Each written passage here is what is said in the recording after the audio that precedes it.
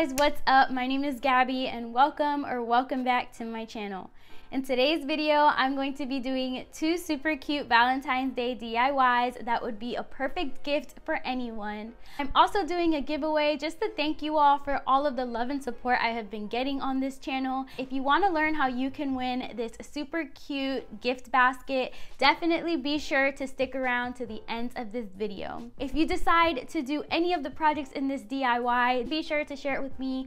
I would love to see it. I actually started a new Instagram page called GC Home Decor, and on there you'll find all things home decor, DIY, and everything else in between. If you guys enjoyed this video, be sure to give it a big thumbs up. Now, without further ado, let's get on with the video. So for this first DIY, I'm going to be making these super cute decorative Valentine's Day doormats. The first thing you're going to need is a doormat. I picked this up from Ikea. I'm going to be making heart stencils using my Cricut Joy. I'm just gonna use this poster board that I had cut down to the size of my Cricut mat and I'm just gonna have my Cricut cut out all of my stencils. I actually have a video where I made stencils without a Cricut, so I'll definitely link it up in the cards and also down below. Using the Cricut definitely makes this project a lot easier and a lot faster, so I highly recommend it. I don't go too into depth as to how I made these stencils, so if you want a video on my review of the Cricut Joy and some cool projects that you can do with it, definitely let me know in the comments below. So after making about 12 of these stencils, I'm gonna go in and place them on my doormat. I'm using a ruler to evenly place my stencils and I'm using some duct tape just to tape it down and make sure that it doesn't move. This is really important for when you paint it um, just because it's gonna keep your lines very crisp and clean.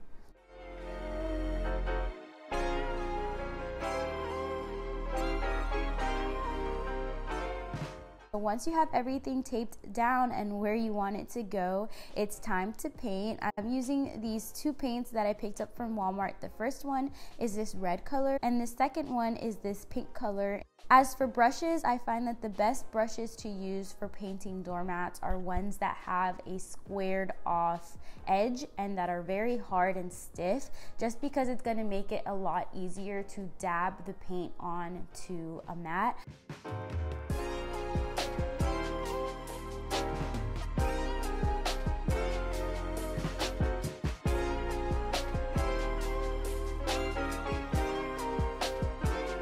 So once your doormat is completely painted and dried, you can peel off the stencil and you have a beautifully decorated Valentine's Day doormat. This doormat is perfect for decorating your place for Valentine's Day and I love how it came out.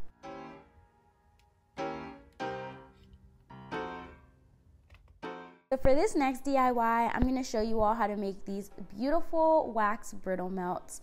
If you don't know what a wax melt is, it's basically a wickless scented piece of wax that you melt inside of a warmer. I personally like the ceramic warmers. I think that they're a lot more aesthetic. I think that this would be a perfect gift set to give someone for Valentine's Day. So the first step to making these wax brittles is to melt your wax. I'm using this non-scented pillar candle that I picked up from Ikea. I'm just going to stick it in a double boiler and boil it until it completely melts. So once your wax is completely melted, you can give it a few minutes just to cool down a bit. While it's cooling down, I'm grabbing this baking sheet and lining it with some aluminum foil.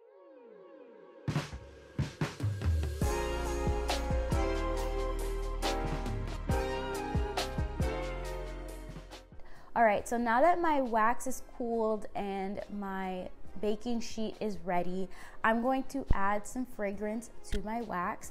I'm going in with this peppermint oil that I use for my diffuser, and I'm going in with two spoons of it. Honestly, if I could do it again, I would definitely put in an extra spoon or two. I'm also going to add some coloring to my wax just to give it a pretty pink tint. So once you have your fragrance and color in your wax, you can go ahead and pour it into your lined baking sheet. And then I'm actually going in and adding these pretty flowers just to give it a more decorative touch. And I'm gonna let that sit for just a few minutes just so that the wax can dry just a little bit before adding these baby's breath.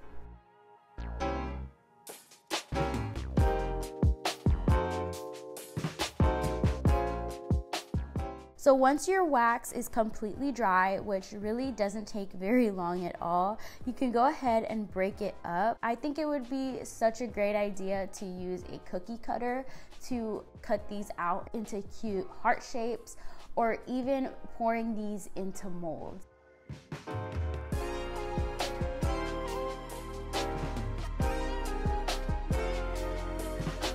I think wax melts are a perfect gift to give to anyone, especially if you give it in a kit, which leads me to the next portion of this video. So as a big thank you for all of your love and support, I want to do a giveaway. So for this giveaway, I'm going to be giving away a super cute wax warmer gift set, which includes this ceramic wax warmer, as well as some of the wax brittles I made in this video, and some tea light candles. That way you can make your house smell delicious so to enter into this giveaway, it's super easy. All you have to do is be subscribed to this channel and leave a comment down below. In your comment, be sure to leave your Instagram or your email if you don't have an Instagram. That way I can reach out to you if you win. This giveaway closes on February 13th and I will be announcing the winner on February 14th over on my Instagram page. That was my video. I hope you guys enjoyed it. If you did, don't forget to leave it a big thumbs up. Be sure to share your projects with me over on Instagram. Again, my new handle is at GC Home Decor. So definitely be sure to share your projects as well as follow because I would truly appreciate it. Happy Valentine's Day and see you guys on the next video. Bye.